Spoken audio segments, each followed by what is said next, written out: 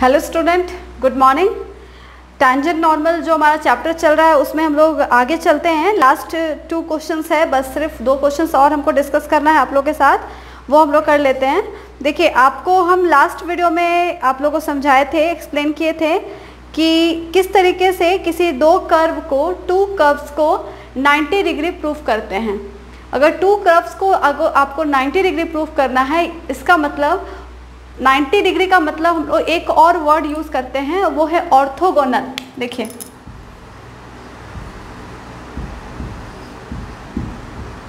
Orthogonal. देखिए, orthogonal जो word है, ये वर्ड का मतलब हुआ कि you have to prove two curves are orthogonally यहाँ से ऑर्थोगोनल से आया है ऑर्थोगोनली ये।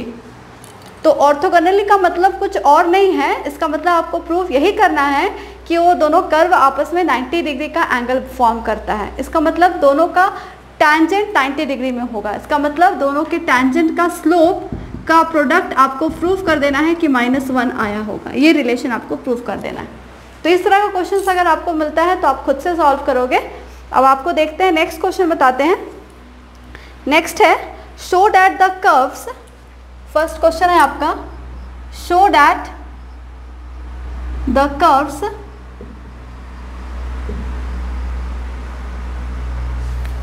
so that the curves xy is equal to a square and x square plus y square is equal to 2a square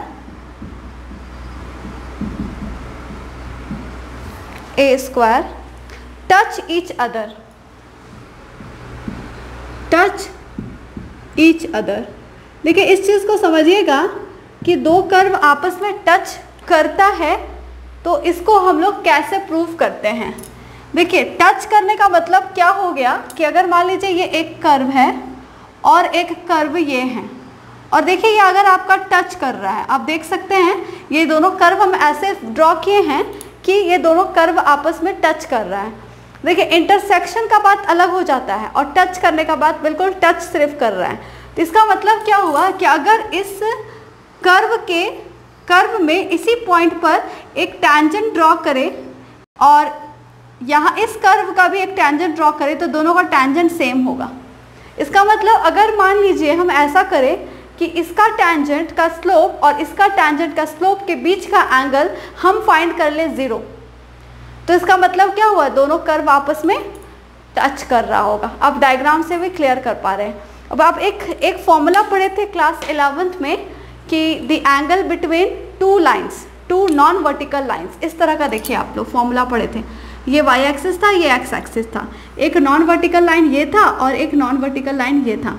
इन दोनों के बीच का एंगल आपको ये निकालना पड़ता था फाइव तो अगर मान लीजिए फाइव का एक फॉर्मूला आप लोग आप लोग को बताया गया था क्लास इलेवन में कि tan phi is equal to आपको बताया गया था mod of M one minus M two divided by one plus M one into M two. यहाँ पर M one is the slope of first line and M two is the slope of second line ये दोनों का slope लेना है और ये ten five का फॉर्मूला होता है। तो वही चीज़ अगर मान लीजिए, इस कर्व के टेंजेंट का स्लोप और इस कर्व के टेंजेंट का स्लोप के बीच का एंगल मतलब फाइव अगर हम ज़ीरो प्रूफ कर दे तो ये प्रूफ हो जाएगा कि these two curves touch each other तो इसलिए हम इस फॉर्मूला को यहाँ, इस क्वेश्चन में यूज़ करने जा रहे हैं. देखिए, हम आपको बना के दिखाते हैं. सबसे पहले गिवन हम लोग ये इंटरसेक्टिंग पॉइंट हम लोग देखते हैं पहला कि ये किस पॉइंट पे आपस में इंटरसेक्ट करेगा. तो इंटरसेक्ट क्या करने के लिए? दोनों के कर्व को हम लोग सॉल्व करेंगे. कर्व के इक्वेशन को सॉल्व करेंगे. Given X Y is equal to A square, यहाँ से हम y का वैल्यू फाइंड कर लेते हैं A square by X and X square plus Y square is equal to two A square.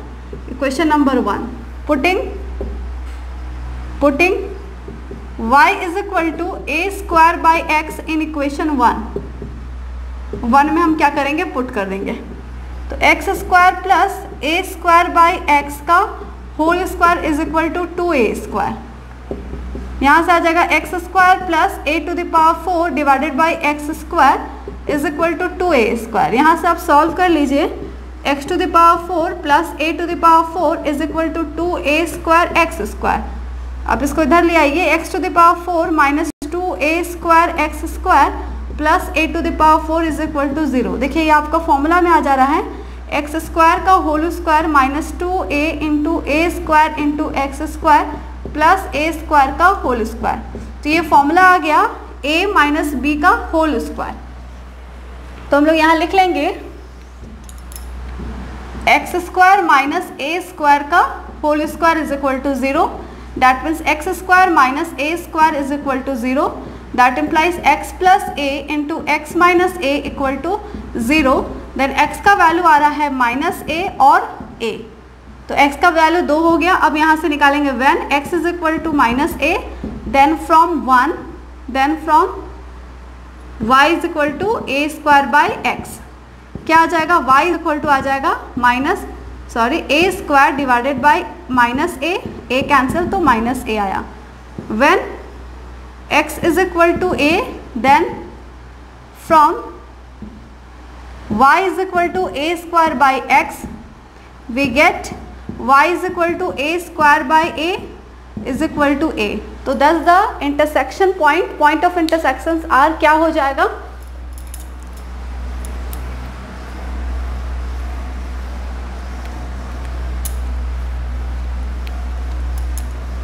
Thus thus the point of intersection point of intersection of two curves.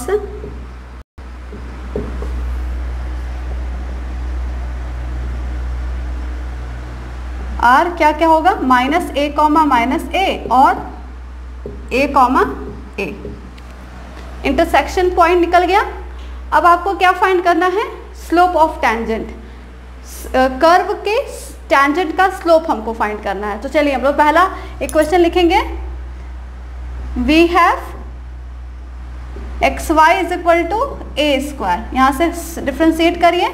X d y by d x plus y is equal to zero then x d y by d x minus y then d y by d x minus y by x और किस point पे निकाला? मान लीजिए minus a comma minus a पे हम पहले निकाल लेते हैं। तो d y by d x at minus a comma minus a is equal to minus minus a divided by minus a तो आपका ये ए कैंसिल हो गया और वैल्यू आ जा रहा है माइनस वन। इसका मतलब हम इसको ले लेते हैं M one is minus one. M one का वैल्यू निकल गया, इसको हम एम वन कंसिडर कर लिए। फ़र्स्ट स्लोप का फ़र्स्ट कर्व का टेंजेंट का स्लोप आपको हम कंसिडर कर लिए हैं एम वन जो वैल्यू आया है माइनस वन अब सेकेंड सेकेंड कर्व की ओर चलते हैं। उसका भी हम स्लोप निकालेंगे, जिसको हम m2 कंसिडर कर लेंगे। ठीक है? ताकि फॉर्मूला पुट करने में इजी हो जाए। देखिए। And x square plus y square is equal to आपका दिया हुआ है two a square again differentiate कर लीजिए। Two x plus two y d y by d x is equal to zero क्योंकि टू भी कांस्टेंट है और ए स्क्वायर भी कांस्टेंट है। तो यहाँ से आ जा रहा है two y d y by d x is equal to minus two x आपका टू कैंसिल आउट हो गया।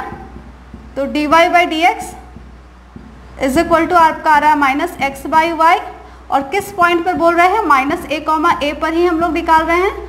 तो माइनस ए कॉमा ए पर आपका सेकेंड कर्व का टैन स्लोप आ जा रहा है। Minus a divided by minus a, फिर से ये माइनस वन आ रहा है, देख लीजिए, जिसको हम फिर से कंसिडर कर ले रहे हैं एम टू ठीक है? अब क्या करेंगे? Let phi be the angle between two curves हम फाइव कंसिडर कर लेते हैं तो दोनों कर्व के बीच का एंगल फाइव है। Let phi be the angle between two curves ठीक है? सो so, क्या हो जाएगा? Tan phi is equal to mod m one minus m two divided by आपका क्या होता है? One plus m one into m two ये आपका फॉर्मूला है ठीक है? अब एम वन आपका क्या है? माइनस वन अब माइनस वन पुट कर दीजिए। देखिए यहाँ से। और एम टू भी आपका माइनस वन तो tan phi is equal to आपका आएगा mod minus one minus minus one divided by one plus minus one into minus one. तो आपका आ जा रहा है, यहाँ से देखिए ऊपर पूरा कैंसिल हो जा रहा है तो ज़ीरो आ जा रहा है। और टेन फाइव के वैल्यू में ज़ीरो आ रहा है तो फाइव का वैल्यू भी आपका ज़ीरो हो गया। Thus the given two curves are touch each other तो यही आपका प्रूफ होता है कि ये दोनों आपस में टच हो रहा है, क्योंकि एंगल आपका दोनों के बीच का ज़ीरो आ गया, ठीक है? तो ये आपका, ये फ़र्स्ट स्टेप जो हम लोग आज का फ़र्स्ट स्टेप हम लोग सीखे कि कोई दो कर्व आपस में टच कैसे करता है, उसको प्रूफ करने का तरीका यही है कि दोनों के बीच का, दोनों कर्व के टेंजेंट का स्लोप फाइंड कर लेंगे और उससे हम लोग एंगल शो कर देंगे कि दोनों के बीच का एंगल ज़ीरो हो। तो ही ये प्रूफ कर देगा कि ये दोनों कर्व आपस में टच कर रहा है, ठीक है? चलिए, ये कंप्लीट हो गया। नेक्स्ट क्वेश्चन देखते हैं।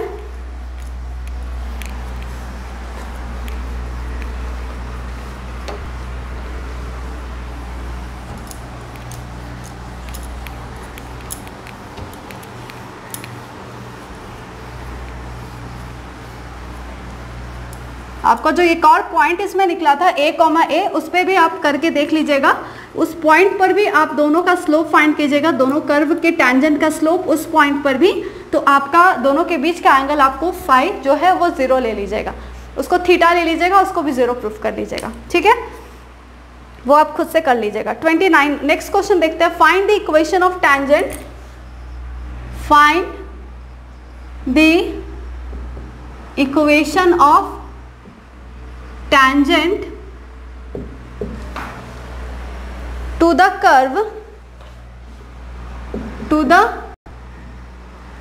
curve x is equal to theta plus sine theta and y is equal to 1 plus cos theta at theta is equal to pi by 4 ठीक है थीटा का वैल्यू क्या होना चाहिए पाई बाय फोर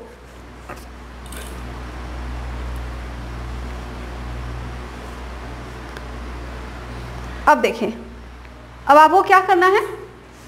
यहाँ पर फिर से आपको कर्व के का टेंजेंट का इक्वेशन फाइंड करना है। तो देखिए, यहाँ जो कर्व जो दिया हुआ है, वो आपका पैरामीट्रिक फॉर्म में दिया हुआ है। देखिए पैरामीटर यहाँ थीटा है। तो पैरामेट्रिक फॉर्म को यूज़ करते हुए, उसके मेथड को यूज़ करके हम इसका d y by d x find कर लेंगे। At theta is equal to pi by four उससे हमको क्या मिल जाएगा? उस कर्व का टेंजेंट का स्लोप मिल जाएगा। ठीक है? तो हम लोग देखिए, सबसे पहले करके निकालते हैं, इसमें निकाल रहे हैं। सबसे पहले गिवन कर्व्स क्या क्या दिया हुआ है? गिवन दिया हुआ है, x is equal to theta plus sine theta अब इसको क्या कीजिए? क्वेश्चन वन ले लीजिए और लिख लीजिए differentiate one with respect to theta क्योंकि पैरामीटर यहाँ थीटा है तो थीटा के रेस्पेक्ट में डिफ्रेंशिएट कर सकते हैं आप। D x by d theta one plus cos theta differentiation हो गया। फिर एंड सेकेंड इक्वेशन लिख लीजिए। Y is equal to one plus cos theta equation number two ले लीजिए। फिर लिखिए differentiate two with respect to theta इसको भी थीटा के रेस्पेक्ट में डिफ्रेंशिएट कर लीजिए। D y by d theta is equal to minus sine theta अब आप निकाल लीजिए d y by d theta अब यहाँ से हो जाएगा now d y by d x का रूल क्या था? Is equal to d y by d theta दोनों को डिवाइड करना होगा d x by d theta अब यहाँ से आप लिख लीजिए d y by theta minus sine theta divided by one plus cos theta अब किस पे निकाले? बोला at theta is equal to pi by four तो लिख लीजिए d y by d x at theta is equal to pi by four is equal to minus sine pi by four divided by one plus cos pi by four solve कर लीजिए थोड़ा minus one by root two divided by one plus one by root two minus one by root two root two plus one by root two ये दोनों cancel minus one by root two plus one इसको rationalise कर दीजिए, थोड़ा solve कर लीजिए। Solve कर लेते हैं, ताकि स्लोप आपका कर्व का जो स्लोप होगा, वो हम कर्व का टेंजेंट का जो स्लोप होगा। आपका है d y by d x at theta is equal to pi by four is equal to minus one by root two plus one into root two minus one divided by root two minus one rationalise करना आता है सबको? तो यहाँ आ जाएगा one minus root two divided by two minus one तो आपका आ रहा है वन माइनस रूट टू ठीक है? ये आपका निकल गया वन माइनस रूट टू आपका slope of tangent at theta is equal to pi by four निकाल लीजिए थीटा एक्स का वैल्यू क्या होगा? पाई बाई फोर पर और वाई का वैल्यू क्या होगा? At theta is equal to pi by four फिर लिखिए when theta is equal to pi by four then from one equation one से क्या हो जाएगा? x is equal to pi by four plus sine pi by four तो आपका आ जा रहा है? Pi by four plus one by root two और when theta is equal to pi by four then from two then from equation two y is equal to one plus cos pi by four तो आ जाएगा one plus one by root two ठीक है? तो आपका यहाँ तक आ गया। अब हम लोग क्या करेंगे? इस पॉइंट पर ये जो x, ये x और y एक्चुअली नहीं है, ये x1 y1 है। इसी पॉइंट पर हम कर्व का टेंजेंट का इक्वेशन फाइंड कर लेंगे। चलिए इसको इरेज करते हैं।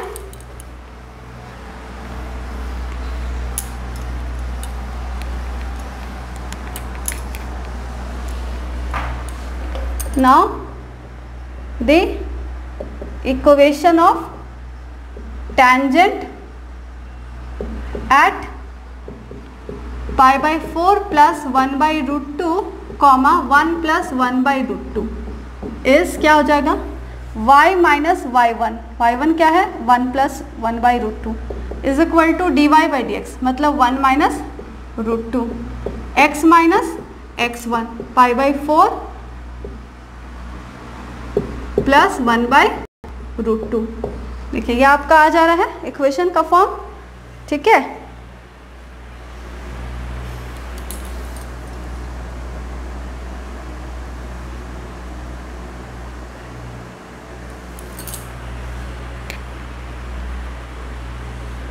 अब इसको सिंप्लीफाई कर दीजिए। y minus one plus one by root two is equal to x into one minus root two minus one minus root two into pi by four plus one by root two यहाँ से आ जाएगा y is equal to x into one minus root two plus one plus one by root two minus one minus root two pi by four plus one by root two ठीक है? यहाँ से इस तरीके से हम लोग उसको सॉल्व कर लेंगे। और अगर पूरी तरीके से सॉल्व करना चाहते हैं तो इसको मल्टीप्लाई करके आप सॉल्व कर लीजिए। देखिए यहाँ से। y into x into one minus root two plus one plus one by root two minus one plus root two sorry multiply कीजिएगा पहले। Pi by four plus one by root two minus root two pi by four minus minus root two by root two होगा? अब यहाँ से आप bracket open कीजिएगा। y is equal to x into one minus root two plus one by one plus root two one by root two minus pi by four minus one by root two plus root two pi by four ठीक है? अब यहाँ से आ जाएगा minus minus plus one ठीक है? यहाँ से one by root two one by root two cancel तो y is equal to x into one minus root two minus pi by four plus root two pi by four plus two ठीक है? ये आ गया। अब यहाँ से आप ये लिख लीजिए एक साथ। y is equal to x into one minus root two plus pi by four बाहर root two minus one plus two this is the required equation of tangent यही आपका कर्व का टेंजेंट का इक्वेशन हो जाएगा। ठीक है?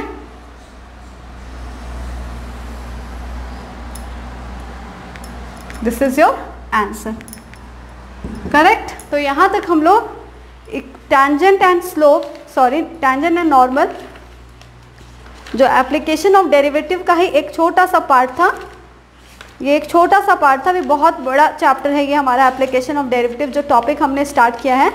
बट ये एक छोटा सा पार्ट आज हम लोग कंप्लीट कर लिए हैं टेंजेंट एंड नॉर्मल चैप्टर ठीक है?